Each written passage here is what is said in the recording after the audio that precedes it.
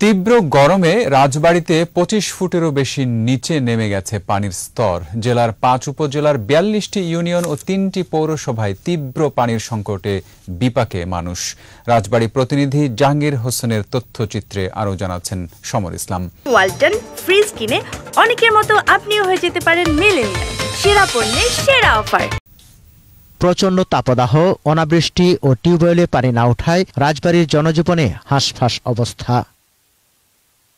বালিয়াকান্দি উপজেলা সদর বহরপুরের রায়পুর নারোয়া কালুখালী উপজেলার মদাপুর রাজবাড়ী সদরের মিচানপুর ইউনিয়ন এবং পাংশার হাবাসপুরের বেশিরভাগ টিউবওয়েলে পানি উঠছে না। খাবার পানির তীব্র সংকটে চরম দুর্ভোগে মানুষ।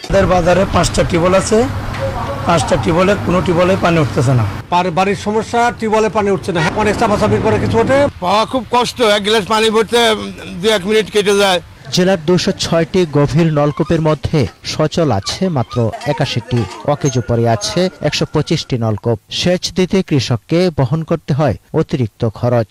অন্য বাড়ির থেকে পানি আনি গরু টরু লাগানো হয় নিজেদের খাওয়ানো কষ্ট হয়। ধান টান সিদ্ধ শূন্য করব এখন খরার দিনই ধানই সিদ্ধ করার পারতেছি বর্তমানে ওই পানি এক পাঁচশো লিটার পানি পড়তে গেলে পনেরো মিনিট লাগে থেকে পঁচিশ মিনিট সময় লাগে। পানির স্তর নিচে নেমে যাওয়ায় সংকটের কারণ বলছে জনস্বাস্থ্য প্রকৌশল বিভাগ। পঁচিশ ফিটের নিচে পানি লেয়ার চলে যায় তখন আর ওই টিউবওয়েল দিয়ে আমরা লোকজন পানি তুলতে পারে না। এই পর্যায়ে তাদেরকে ডিপ টিউবওয়েল অথবা সাবমার্সিবল টিউবওয়েল এইসব স্মরণাপন্ন হতে হয়। বৃষ্টি হলে অকেজো টিউবওয়েলগুলো সচল হবে বলেও জানান এই কর্মকর্তা।